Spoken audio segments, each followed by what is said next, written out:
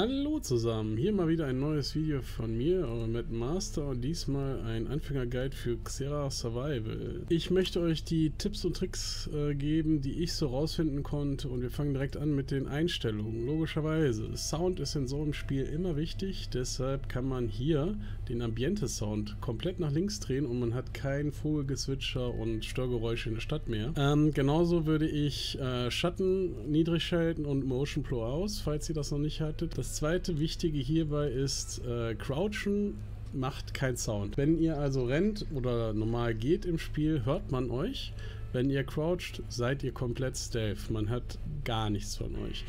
Das ist wichtig zu wissen, falls ihr mal jemanden backsteppen wollt. Dann als nächstes gehen wir mal in den Clover Stash und schauen uns die Items an. Ich kriege immer die Fragen zu hören, warum und wie die Items so aussehen. Man kann einfach drüber hovern und da sieht man prozentual Damage und Gewicht. Das sind die zwei Werte, die immer wichtig sind, beziehungsweise Armor oder Protection und Gewicht. Das Spiel funktioniert so, jede Waffe macht einen bestimmten Prozentsatz an Schaden und benötigt einen bestimmten Anzahl an Gewicht. Genauso die Munition. Also immer, was ihr mit euch äh, rumschleppt, das verbraucht Gewicht und nicht Inventarplatz. Und die Rucksäcke erhöhen euer Gewicht, das ihr mit euch rumschleppen könnt. Das ist jetzt hier die Military Backpack, 55 Kilo zusätzlich. Das ist, glaube ich, der beste. Ich habe bis jetzt noch keinen besseren gefunden. Hier seht ihr die Heavy Vest. Das ist ähm, meiner Meinung nach die stärkste Weste. Hat halt 18% Protection, wiegt aber auch 8 Kilo.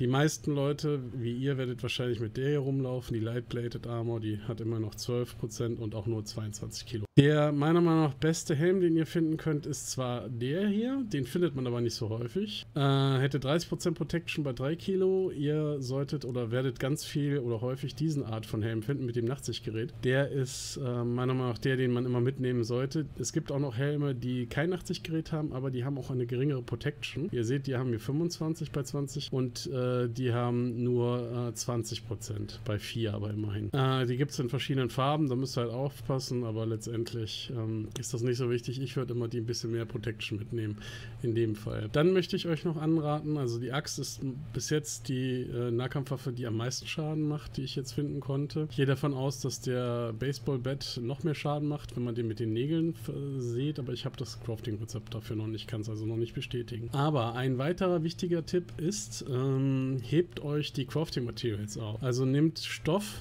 und Alkohol zum Beispiel und wartet bis Level 4. Und zwar bis Ende Level 4, bis ihr das craftet. Alles in diesem Spiel gibt euch ja XP. Auch das Craften. Das Craften gibt nicht wenig XP.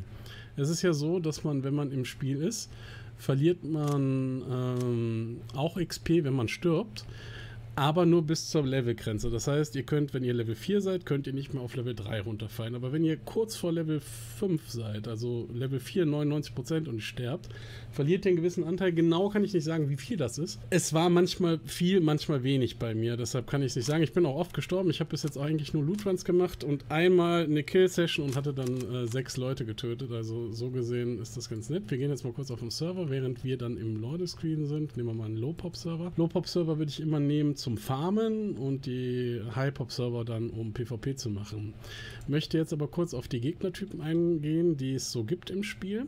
Mm, da haben wir einmal das Modell Y, der normale 0815-Roboter, den ihr ständig sehen wird, der auf euch zurennt und euch hauen will. Zwei Kopfschüsse und er ist tot. Man kann sie auch in die Beine schießen, dann äh, gehen sie sehr langsam und ja, kann sie dann erledigen, wenn man möchte. Modell Z ist der etwas gelblichere Roboter, der explodiert, wenn er an euch drankommt oder ihr ihn tötet. Auch zwei Headshots und er ist tot. Äh, Explosionsradius ist nicht so weit, wie man glaubt, aber schon okay, macht aber auch nicht so viel Schaden. Also muss man nicht so viel Angst haben, wenn man Armored ist.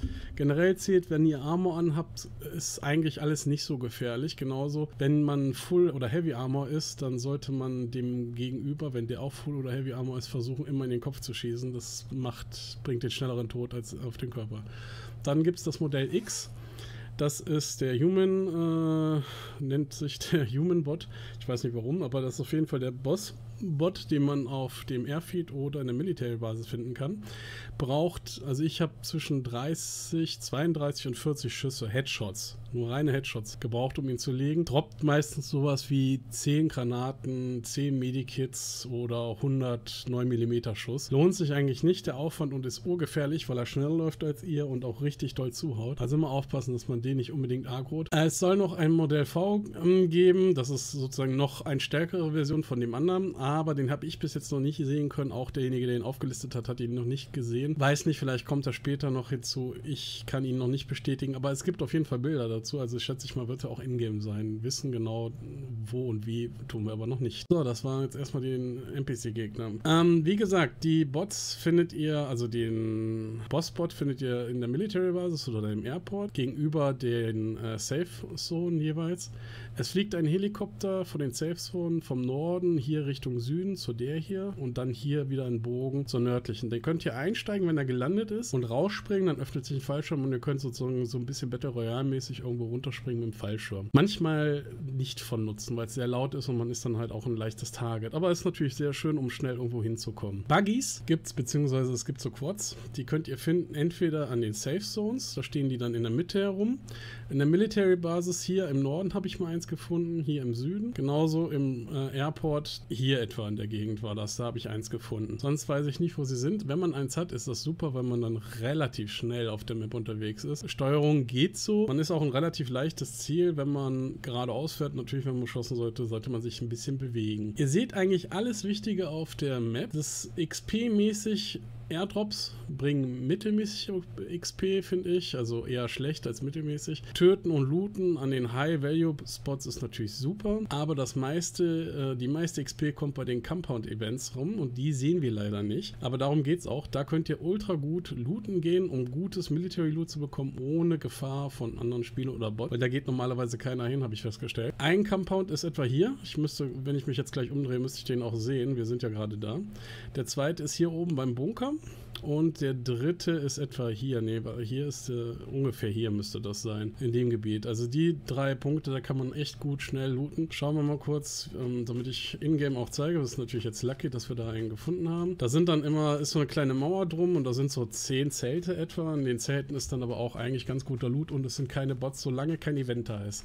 Wenn ein Event da sein sollte, habt ihr dieses Zeichen einmal in weiß dann ist noch kein Spieler da gewesen und hat es engaged. Wenn das Zeichen so wie hier in Rot ist, ist aber schon ein Spieler da und hat die äh, Bots geagrot. Das ist jetzt so ein Compound, wo wir ihn jetzt sehen. Der ist jetzt, da bin ich jetzt kurz hingelaufen und schauen wir uns jetzt mal kurz noch die Zelte an, damit wir sehen, was, was ich meine, wie der Loot ist.